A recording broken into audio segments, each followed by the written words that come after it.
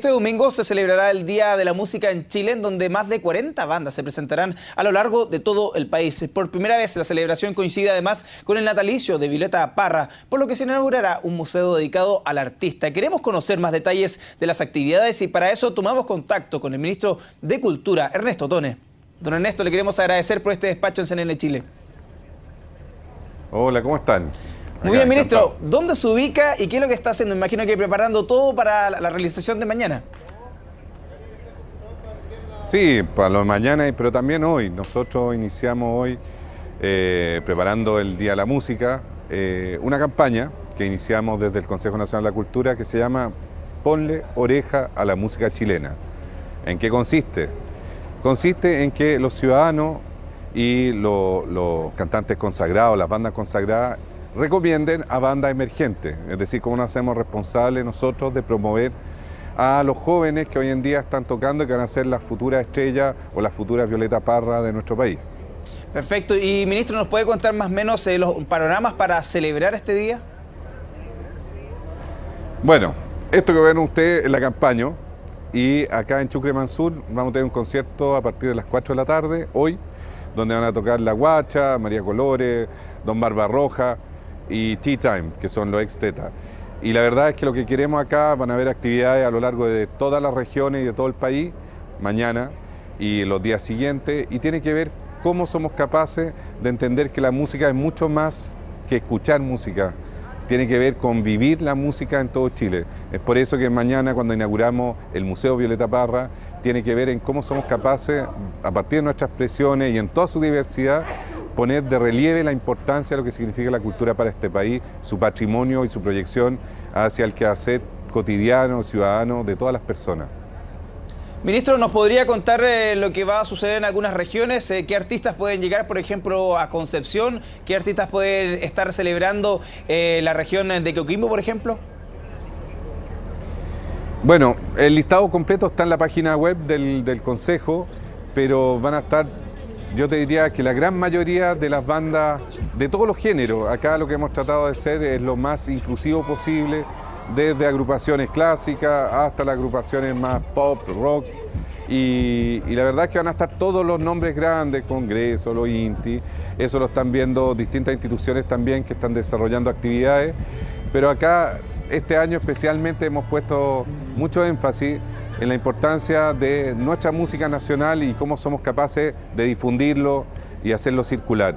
Así que van a haber actividades en grandes escenarios en toda la ciudad. Yo vengo llegando de San Felipe, por ejemplo, donde hay un escenario que se está instalando para el día de mañana frente a la gobernación. Eh, como le digo, hemos tratado de hacer un esfuerzo para deslocalizar también y no estar solamente en las capitales regionales, sino en la gran mayoría de las ciudades a lo largo y vasto de nuestro territorio.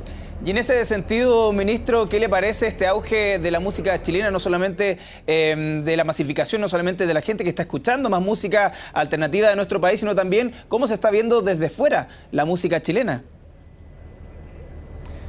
Bueno, si usted ve, el, mercado de la música cambió, la industria, la famosa industria que se hablaba, ha cambiado generalmente. Hoy en día el 90% del esfuerzo que hace el Consejo tiene que ver cómo nosotros somos capaces de proyectarlo tanto nacionalmente como internacionalmente a través de la música en vivo. Si finalmente hoy día la industria es un, acercamiento mucho más diario en los escenarios, en los lugares, en los centros culturales, en los teatros regionales y en ese, en ese sentido se ha hecho un esfuerzo muy grande de buscar cuáles son los mercados de los grandes festivales a nivel internacional, donde nosotros y Cancillería en este caso eh, pueden hacer una diferencia donde no solamente damos a conocer los artistas que ya están circulando eh, en América Latina o incluso en Europa, sino también los nuevos y los valores emergentes que hoy en día tienen una relevancia y que antiguamente era muy difícil poder proyectarlo a otro escenario. Hoy en día eso se está haciendo coordinadamente,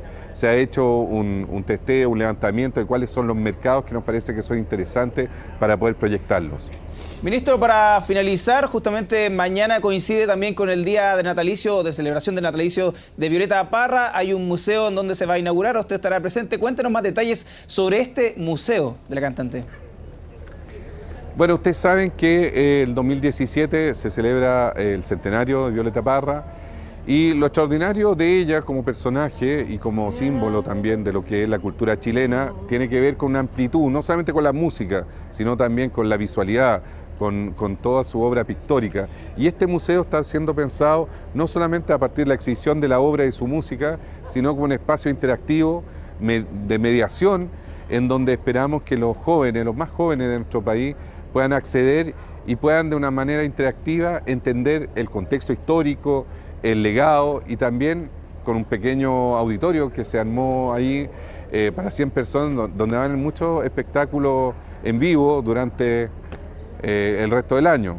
Entonces estamos, la verdad es que se nos han juntado muchos eventos este fin de semana y estamos, yo le diría, muy orgullosos de, lo que significa que hoy en día la ciudadanía exige y pide tener derecho a la cultura.